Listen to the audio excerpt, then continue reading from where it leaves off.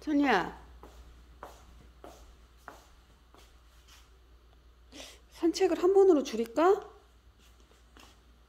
응? 차리도 나이가 있어서 이제 좀 줄여야 되나? 피곤해? 자세가 그게 뭐야? 찰리야, 피곤해?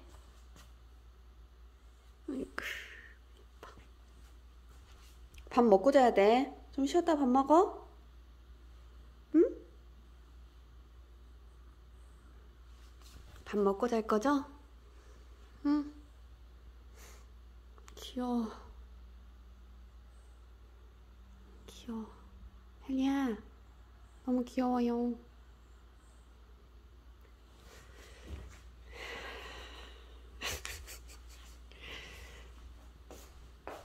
누나 가도 거기서 그렇게 잘 거야? 나 간다, 방에.